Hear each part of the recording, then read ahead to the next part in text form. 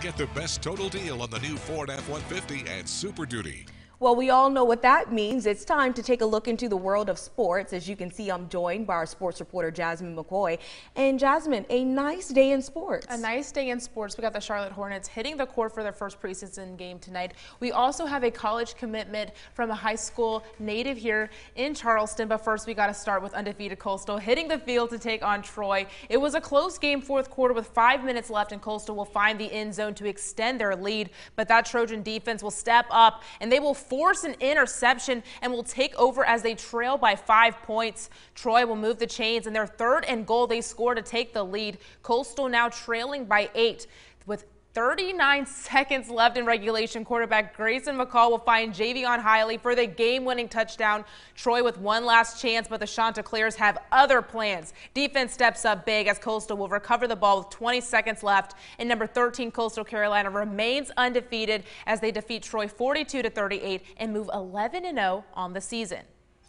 And well, the NBA is finally back as the Charlotte Hornets will hit the court for their first preseason game as they take on the Toronto Raptors tonight. The Hornets added some new pieces to the team with small forward Gordon Hayward, who was previously with Boston, and the third overall draft pick, LaMelo Ball. But the Hornets even drafted College of Charleston's Grant Riller. And here's what he had to say on if he gets to see some minutes on the floor tonight. Still early. Uh, I've only been here probably about a week, so I'm still trying to get my feet wet, and it's still early. Um, but if I do get the opportunity to go out there um, and get some minutes, um, the main thing I'm focusing on right now is just trying to just trying to play the right way, um, find guys, uh, defend at a high level, um, and, and trying to make my niche right there. And after going undefeated and making it to the playoffs, First Baptist had to cancel the remainder of their season due to COVID-19. But senior linebacker Mikey Blandon will get the chance to continue his football career and won't be going too far as he committed to the Citadel. He spoke with me today about his decision. I'm trying to plan for my future, and Citadel, it was telling me all the right things that I needed to hear. And on the on the plus side, they play big boy football too and it just it just like I feel like I couldn't go wrong, and I just had went with my gut. So luckily, I get to continue my future and stuff. And so I just it's just like a blessing. It's a blessing because I to be honest with you, I never thought I'd get a D one offer, even though I knew I could ball a little bit, but I never thought I'd get a D one offer to be hundred percent real with you. But it's just a blessing. Just gotta take it in, keep pushing.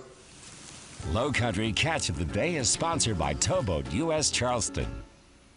Let's take a look at our low country catch of the day. Mount Pleasant native Ava Kate holding a trout she caught in Bluffton, South Carolina at her grandparents' house. We appreciate the picture, Ava.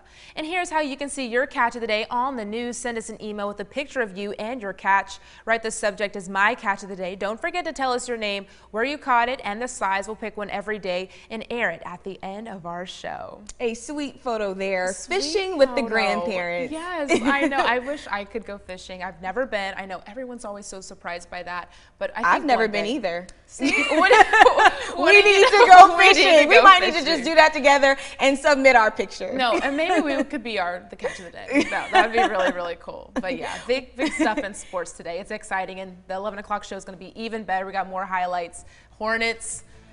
Oh, it's going to be a good day. well, that's all the time we have. The news continues online at counton2.com. We'll see you back here tonight at 11.